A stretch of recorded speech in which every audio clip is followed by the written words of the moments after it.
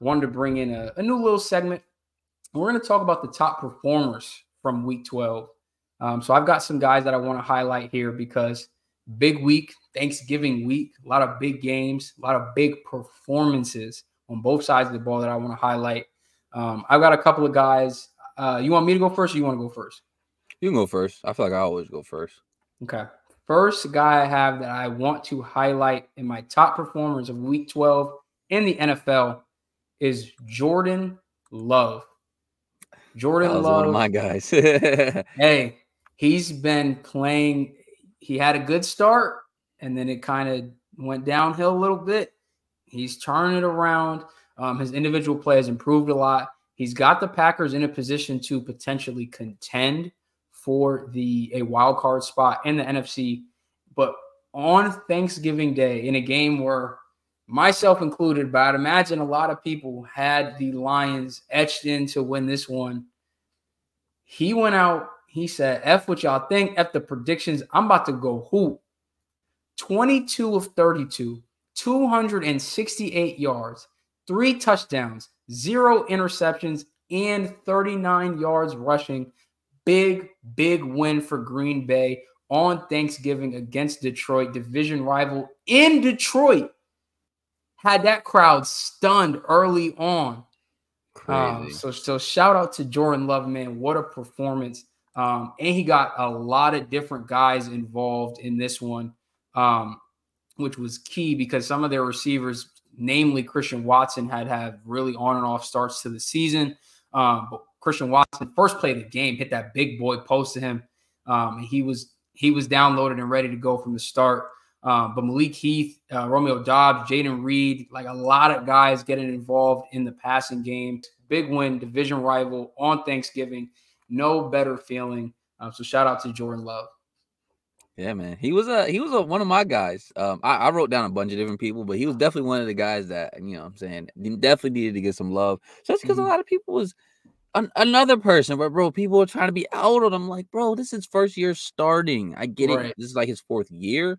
This is his first year starting, bro. I don't practice reps don't mean nothing compared to actual reps no. in the game, bro. It means absolutely nothing, bro. That scout D line doesn't hit you. No, they don't. It's not the same, bro. Come on. So, but yeah, all right. So my guy, I, got, I gotta bring this guy up, bro. I love this guy to death, bro. Is Kyren Williams. For mm-hmm. those who mm-hmm. don't know, He's on. He's on every fantasy team I have. Every single one. Really? Like, wow. Every single one. That's that's why he's so near and dear to my heart, bro. But just as far as like a real life stat line, bro. First game back after four weeks, I was out with an ankle injury. Rushed 16 times, 143 yards, which is good in its own right. Then you add in six catches, 61 yards, two receiving touchdowns. That is 8.9 yards a carry. That is 204 yards per scrimmage in his first game back after missing four games. That is elite, bro. And and when you watch the runs, looked amazing, looked explosive, looked fast. Like the vision was there, the cuss was there. Mm-hmm. The he was always a good pass catcher. But um, yeah, and he's getting he's getting plays drawn up for him. He's getting screens drawn up for him. The touchdown he had, I believe, out of the backfield, um, looked like it was that was where it was supposed to go. So he's getting featured and he looks great, bro. Like started the season, I, am glad to see, and like this is from real right, real life perspective, not fantasy. I'm glad to see that it wasn't like just like a fluky, like you get all the touches, so you're gonna do good type of thing. Like, no, he's he's legitimately a, a really good running back. He deserves his uh his shot, you know, to be featured a little bit. So shout out to Kyren Williams, man. Absolutely dismantled the Cardinals. And mm-hmm. I believe for the second time, because the first game, I think he had like bro had like 10 yards in the first half. And then they was like, all right, let's give him the ball and had like 150 yards rushing in the second half alone. So absolutely destroyed the Cardinals. Yeah, he he went crazy. He actually single handedly probably lost me um, a game in fantasy because I was going against him. So him dropping 40 in somebody's flex spot, so it's a little tough to deal with.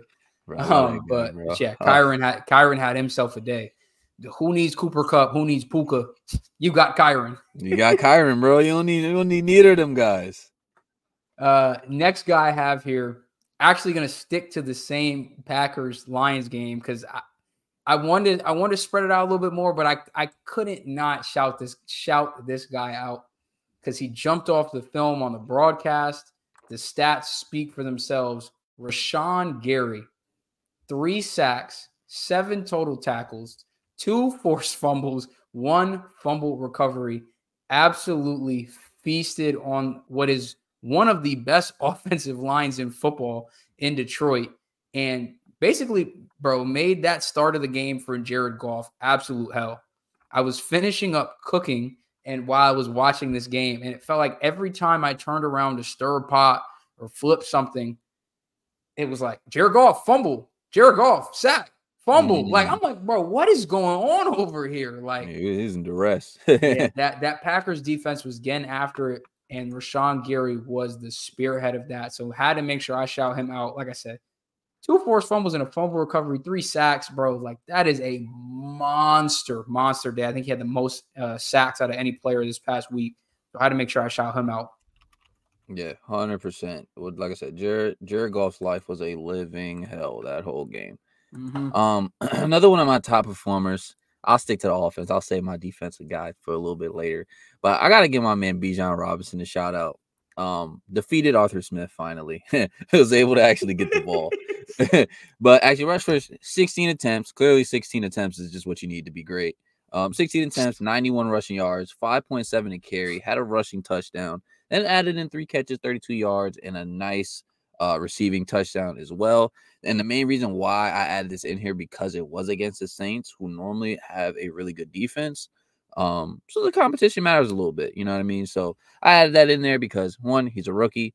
These past couple times, past couple games, he's starting to get, you know, majority of the touches, and you can see it like when he gets the ball, like good stuff happens. So hopefully that can continue to keep going because Arthur Smith loves to just give the ball to Cordarrelle Patterson for some reason. But you know, if he can get the ball, special stuff happens. So shout out to him. My next guy, and I have a couple in here that I'm like, they weren't like the top top guys, but I, I can't not bring them up. Um, and you'll appreciate this one. Um, I could have put multiple names for, for this, um, but let's let's go with quarterback coach Mike Sullivan, who was calling the plays. Yeah, and the Steelers had their first 400 yard game. We back. Bro, it's it's been over 50 games since y'all did that. That is me, insanity. Oh man, we back, baby. Triple B's at triple B's. We back, baby. High powered offense. Let's go. Uh, but but yeah, I also had down here Pat Freiermuth had himself a big day, nine catches, 120 yards. Um, in a big win, division game. Still didn't put up a ton, ton of points, but hey, 400 yards is 400 yards, however you want to slice it up. Um, so shout out to the whole Steelers offense. Really, that could be the top mm-hmm. performer. Getting rid of Matt Canada, putting up 400 yards a week after um, is definitely big for that locker room. Um, and them just generally how they're sitting in the AFC playoff picture. So shout out to them. One hundred percent. Now my guy I want to have here. Oh, let me let me pull the stats up because I don't want to discredit my guy. Yeah, you know I mean, and, and, since you did me a solid, you shouted out my team. I'll yeah. shout out your team. I'll do you a solid. My man Dak Prescott was hooping. My man, it. my man Dak Prescott, MVP candidate Dak Prescott. Mm-hmm. Might I add in there. My man's 22 completions, 331 yards, four TDs. Absolutely dying up the the commanders. And the thing was, because I heard a lot of people talk about, you know, reasons why he's not in the MVP conversation. Yeah, they they don't really win because of him. Kind of like a Purdy thing, kind of like a I'd say Tua kind of a little bit. How like people say, like, oh yeah, they're winning because of the defense and this, and like he's just game managing he's slinging the ball, bro. Like I don't know what games y'all been watching. Yeah, the game, the defense has been playing well. Yes, I mean they are these are teams with losing records, but at the end of the day, bro, it's a good. They didn't make the you, schedule. It's a good sign when you beat the teams that you're supposed to beat in ways you're supposed to beat them. Like when you right. actually you're not struggling against these bad teams, you're actually blowing them out. And as of right now, bro, he's dying, bro. What you want him to do? Because if he was out here game managing, yeah, I'd be like, bro, he stinks. He's only game managing. Now he's out here dying. Bro, he, you can only do it against the bad team. What you want him to do? It's a lose lose regardless, bro. So mm-hmm. it is what it is. Shout out to Dak. And then what I did have to add in here, one more guy. I don't have no stats pulled up. I just this was just off the straight eye test. Uh Charvarius Ward, the corner for the 49ers. He mm-hmm. had DK in prison. like watching that game, he had him in in a box, bro. Mm-hmm. I, I, mm-hmm. had to because I had to add in a defensive guy, and I was just thinking about it. I'm just watching the game um on Thanksgiving. I'm like, bro, where's DK at? Like, where's DK? Then I seen like a cl- I seen because I, I, I he was playing well. I seen him on a lot of pass breakups. Then I just seen every play that they were lined up against each other to where like they were going at it. Bro, he was it was textbook, bro. Had him in prison to the point where bro DK was kind of in his own head, dropped the easy little hitch route. He he played a fantastic game. So shout out to him. I had had to get a defensive guy in there. Yeah, he had three PBUs in that game. He definitely was clamping up. Yeah, he he's strapped. Um, I got two more little like honorable mention guys before I get into my last guy. Um, gotta shout out uh Jessie Bates, 12 Ooh, total yeah. tackles, which led the team. He had one pass breakup and then had the pick six, 92 yard pick six. Had to go the whole length of the field basically, mm-hmm. um, but mm-hmm. put up a touchdown in that Falcons game that you were talking about, which was a big reason why they were able to win that game. And again, was a big reason why they held the Saints without a touchdown in this entire game. Um, and had Derek Carr in the, I don't think it was a post game. I think he had media availability today. And they asked him about that play. And he said, you know, guy just made a great play. You know, he's supposed to be in the middle of the field on cover three, and he wasn't there. Bro. Seems like he's just looking at your eyes. I don't know. I was about to say, you, yeah, he's, he's watching you stare down this little poster out right here, bro. What are you talking? That it was a bro. It was such a terrible read. Like you weren't even thinking. The guy wasn't even open if Jessie Bates wasn't there. No, he was not. he wasn't even open regardless. So like I don't know what I don't know what he was looking at. Yeah, still still a great play by Jesse to go up and grab that one and crib it on the way back. Um, like I said, 12 total tackles, led the team. He's all over the field. He is the best and one of the only bright spots on that Atlanta Falcons defense. Um, so shout out to him. And also have to shout out Josh Allen in a losing effort, um, put up yeah. four total touchdowns. It was sloppy game, like literally, like it was pouring rain. Mm-hmm. Um, but I mean, did everything that he could do. Um, you know, three, 29 of 51 passing, 339 yards, um, two touchdowns, one pick, um, and then ran for 81 yards and two touchdowns as well. Had some big, big boy runs in the red zone for that Bills team kept them in it all the way till the very end. Just he just can't ever get it done in overtime, which is is tough. Bro's like 0 and 6 at OT. Bro had the rules changed for him and still can't win an overtime game. Like, what are we doing here? Hey, you, he had the rule change. All you gotta do is get touchdown. Didn't get the touchdown. Gabe Davis, it wasn't locked, bro. He didn't know that. He that's miscommunication, bro. That's bad, bro. That's a. I literally jumped out of my seat like touchdown and then seeing that the ball was going the other way, and I was like, "No, bro, y'all gonna let the Eagles squeak out with another one." uh, do you have one more guy? I do, but I don't. Want, well, I don't. I have one guy that we didn't mention, but I want you to say your guy first. I don't want to steal your guy. I'm keeping the same game. My last top performer um, is Jalen Hurts. That's it, what it, that's what I was gonna say. it, it, it, we it couldn't go unmentioned. Facts. Um, not a huge day passing, uh, especially not early on.